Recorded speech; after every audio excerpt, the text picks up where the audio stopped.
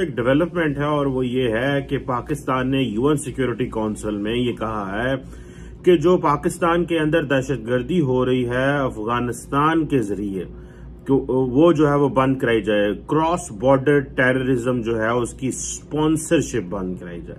अच्छा मज़े की बात यह है कि इसके मल्टीपल एंगल हो सकते हैं। पहला एंगल तो यह है कि हम अफ़गानिस्तान को कुछ नहीं कह रहे।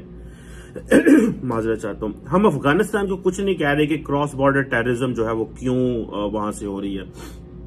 और दूसरा ये है कि इंडिया जो है वो क्योंकि एक फोरम है यूएन का UN counter terrorism committee New York में ये बनी हुई है। ये बेसिकली उस बैक इन 2001 जब सिक्योरिटी काउंसिल रेजोल्यूशन 1373 अडॉप्ट किया गया था, जो कि नाइन अलेवन के अटैक्स के बाद जो रेजोल्यूशन वहाँ पे सिक्योरिटी काउंसिल ने अडॉप्ट किया था कि ये मेरा ख्याल है अट्ठाईस सितंबर 2001 को कि जी काउंटर टेररिज्म मैयर्स लेने चाहिए पूरी दुनिया में। अच्छा इंडिया इस फोरम का इस्तेमाल करता है, पाकिस्तान को ये कहते हुए कि पायन, ये पाकिस्तानी जो हैं, ये साउथ एशिया में मामला खराब कर रहे हैं। इन्होंने जमातुद्दावा को और बाकी जमातों को सपोर्ट किया हुआ और वो हमारे यहाँ पे हमला करे अच्छा अब हो क्या रहा है कि पाकिस्तान डेफिनेटली हम परेशानी की शक्ल में है, हमें। उसकी वजह क्या है?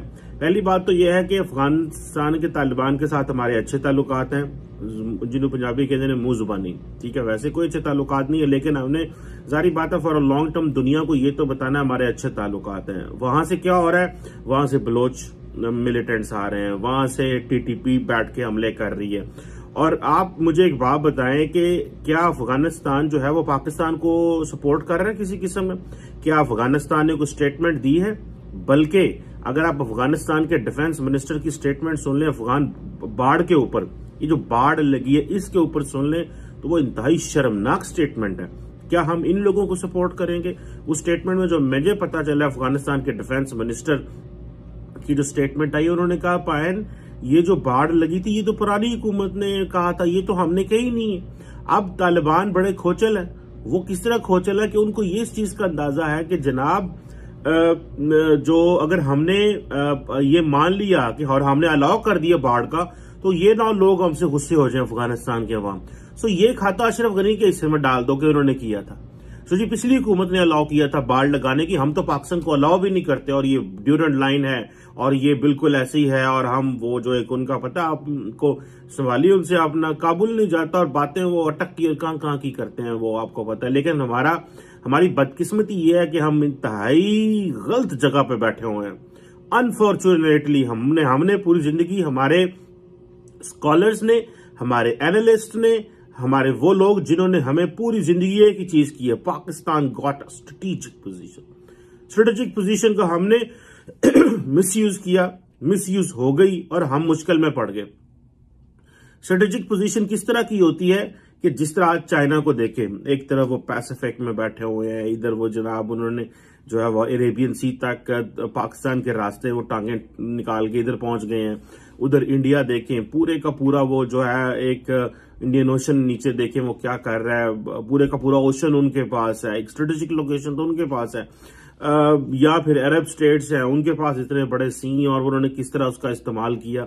हम तो अपने समंदरों का भी ठीक से इस्तेमाल नहीं कर सकते। समंदरों पे भी हमने, अब बंदा क्या कहे, ना वहाँ पे कोई, वो बीच बने हुए हैं। हम तो जो अच्छे बीच हम तो उनको बीच भी नहीं बना सकते, क्योंकि इस्लामिक मुल्क है, वहाँ पे तो इस तरह की कुछ हो ही नहीं सकता। उसी वक्त यहाँ पे पाबंदियाँ लग जाएँगी।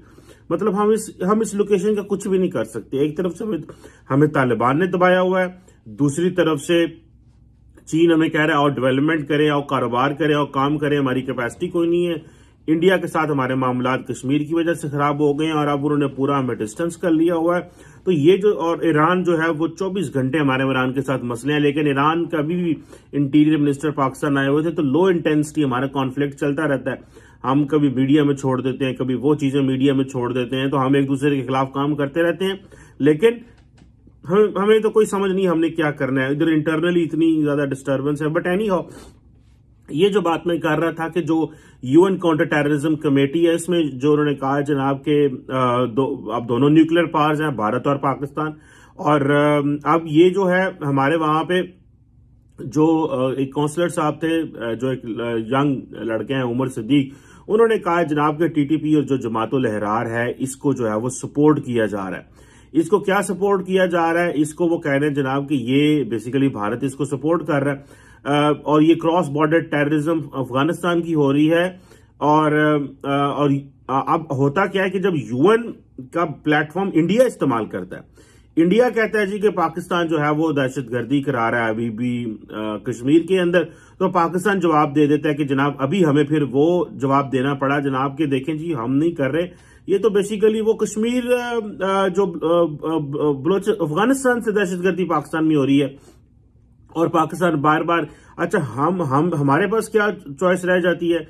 कि हमने रिसेंटली जो आपको पता है कि कुछ बलोच सेपरेटिस्ट ने हमले किए। और हमने कहा जी कि हमने कम्युनिकेशन इंटरसेप्ट की है, जिन्होंने अटैक किए थे। और ये जो जो इनके हैंडलर्स थे, जो वो वो अफ़गानिस्तान और इंडिया में बैठे हुए थे। अच्छा अब ये जो क्वेश्चन है कि हमें इंडिया तो एक कांस्टेंट आपका प्रॉब्लम है ही है ना। इंडिया का तो जिसे देख लें, पचहत्तर साल है, हमारे उनके साथ मामला खराब है। लेकिन क्वेश्चन ये आता है और हम उसको टाइम एंड गेन हाईलाइट करते रहते हैं, बल्कि हमने जो डोजियर्स दिए थे, उन डॉजियर्स का इंटरनेशनली दुनिया ने उस तरह रिस्पॉन्स नहीं दिया, किसी ने कोई उसके बारे में जवाब नहीं दिया। वो देना चाहिए था, उसके ऊपर ये बड़ा इंपॉर्टेंट है। जबकि इंडिया क्या कहता है? वो कहता है, जनाब, देखो, इन्होंने पठानकोट किया, पुलवामा हो, ये हुआ, वो हुआ। अच्छा क्वेश्चन जो मेरे लिए इंपॉर्टेंट क्वेश्चन है, वो ये है, क्योंकि अफ़गानिस्तान एक नई एंटिटी के तौर पर इमर्ज हुआ है। अफ़गानिस्तान जब एक नई एंटिटी के तौर पर इमर्ज हुआ है तो उस एंटिटी को फिर हमने क्या करना है? हमें उस एंटिटी को ये देखना है कि ये जो एंटिटी है ये हमारे लिए आ, क्या कर सकती है? क्या ये हमारे दुश्मनों को संभाल सकते हैं? नो क्या ये हमारे आ, जो दहशतगर्द ग्रुप है उनको संभाल सकते हैं? नो क्या ये हमारे लिए वहाँ पर लड़ सकते हैं? नो क्या इन्होंने अभी तक हमारे लिए ओपन स्टेटमेंट्स कोई दी हैं टीटीपी के खिलाफ? नो क्या इन्होंने जमात लहरार या बाकी इस तरह के जो दहशत गर्द ग्रुप है, उनके लिए वो घेरा वहाँ तंग किया हुआ है? नो क्या इन्होंने हमें और अतमाद में लिया है कि टीटीपी और जमात लहरार को हम आइंदा, मैं मैं ओपनली कह रहा हूँ, कोई इस तरह का मौका नहीं देंगे, वो पाकिस्तान की सरजमीन इस्तेमाल करेंगे? नो सिर्फ़ एक मोटी सी बात करते हैं, वो तो हमारे से भी ज़्यादा तालिबान डिप्लोमेट है। वो कहते हैं जी, अफ़गानिस्तान की सरजमीन इस्तेमाल नहीं होगी। अच्छा अब उनके ऊपर क्या है? प्रेशर है? अब वो इंडिया का प्रेशर ज़्यादा लेते हैं, हमारा प्रेशर कम लेते हैं। क्या इंडिया का वो प्रेशर लेते हैं। इंडिया कहता है, जी, आप पाकिस्तान, अफ़गानिस्तान की सरजमीन इंडिया के खिलाफ इस्तेमाल नहीं होगी। पाकिस्तान भी जाकर ये बात कहता है कि अफ़गानिस्तान की सरजमीन पाकिस्तान के लिए इस्तेमाल नहीं होगी। अच्छा जब इंडिया कहता है कि अफ़गानिस्तान की सरजमीन पाकिस्तान के लिए इस्तेमाल नहीं होगी तो it means we are saying कि पाइन ये जो सरजमीन आपके पास है, ये